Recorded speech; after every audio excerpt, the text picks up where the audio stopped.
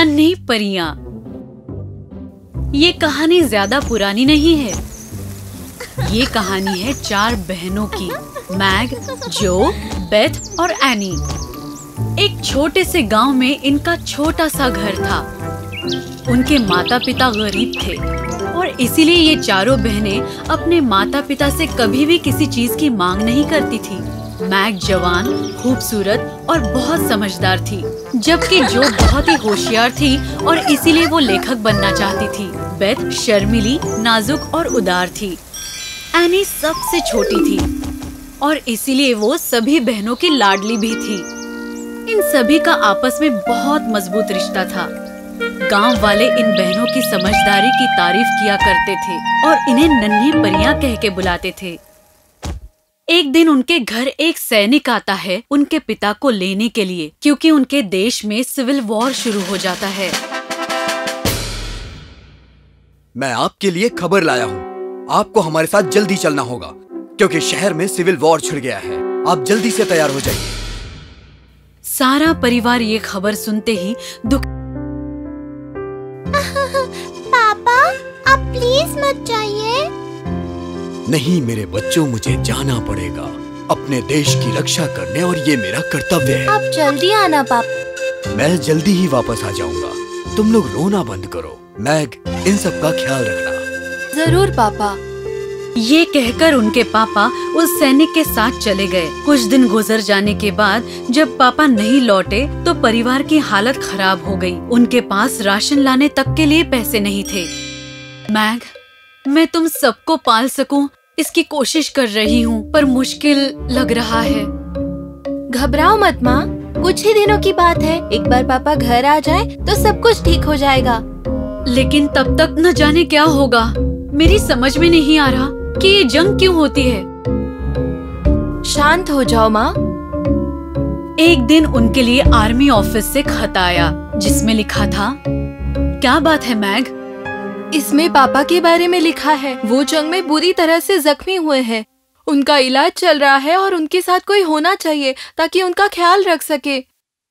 ओह, तब तो मुझे जाना होगा, पर मैं कैसे जाऊँ? मेरे पास तो पैसे भी नहीं है। अब क्या करूँ? चिंता मत करो माँ। तुम बस जाने की तैयारी करो, बाकी सब मैं देख लूँगी।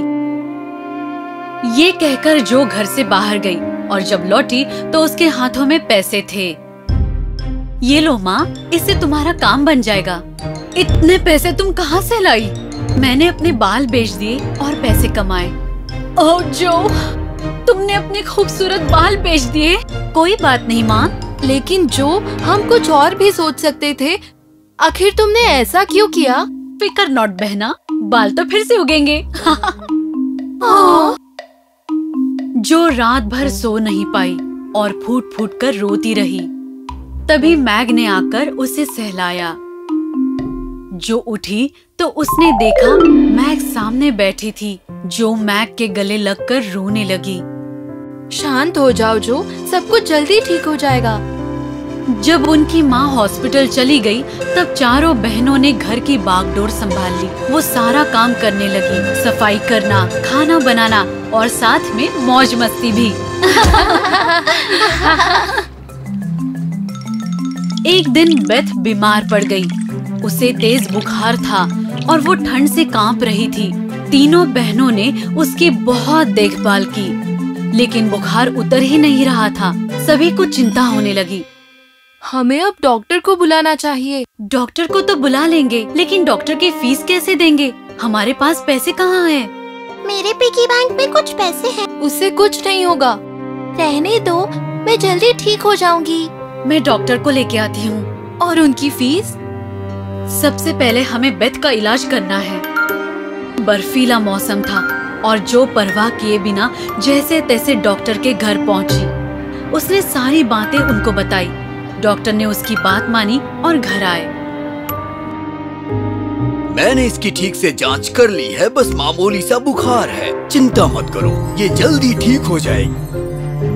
ये तो अच्छी बात है। डॉक्टर साहब लेकिन लेकिन क्या?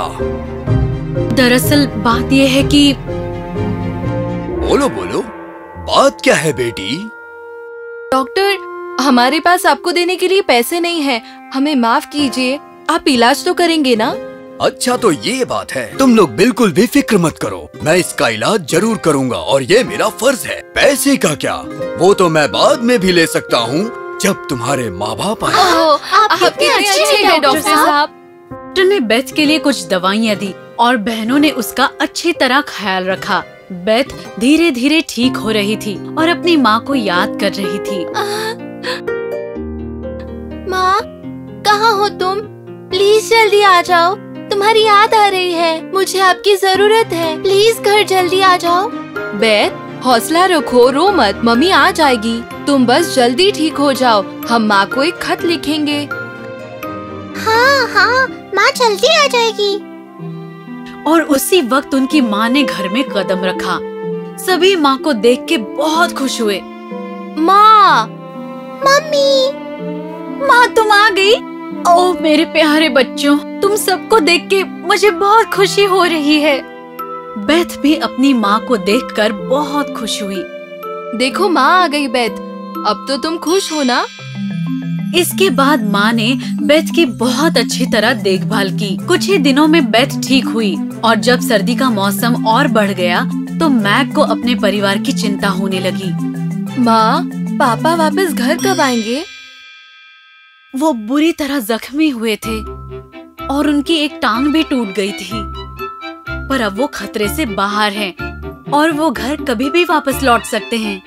पापा की बहुत याद आती है, मैं समझ सकती हूँ। ऐसे दौर से ज़िंदगी में कोई भी कभी ना गुजरे। ऐसा मत कहो माँ, ऐसी मुश्किल घड़ी ही हमें बहुत कुछ सिखाती है। यानी किसी भी मुसीबत के वक्त हमें हिम्मत नहीं हारनी चाहिए। तुमने सही कहा, मैग। कुछ ही दिनों में क्रिसमस का त्योहार आने वाला था। माँ और मैग ने किसी तरह क्रिसमस ट्री का इंतज़ाम किया। लेकिन नन्ही एनी को तो गिफ्ट चाहिए था। मुझे इस साल क्रिसमस में एक नया ड्रेस चाहिए। मुझे मेरे सपनों का राजकुमार मिल जाए। मुझे एक बड़ा सा पियानो चाहिए। बताओ तुम क्या चाहती हो मैग?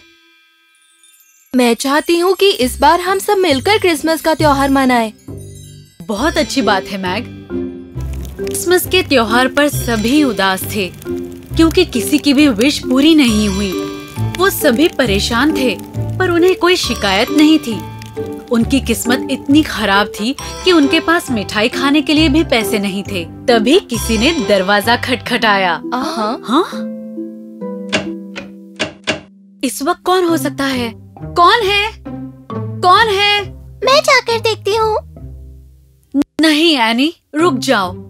तूफानी हवा से दरवाज़ा अपने आप खुल गया। सामने उनके पापा खड़े थे। सभी लड़कियाँ पापा के पास दौड़ी। पापा! पापा! ओ पापा! ओ मेरे प्यारे बच्चों तुम ठीक हो ना? ये तो क्रिसमस का सबसे प्यारा और अच्छा गिफ्ट है। मेरी क्रिसमस! अचानक देखकर पूरा परिवार खुशी से झूम उठा और उन्होंने क्रिसमस का त्योहार मज़े से मनाया।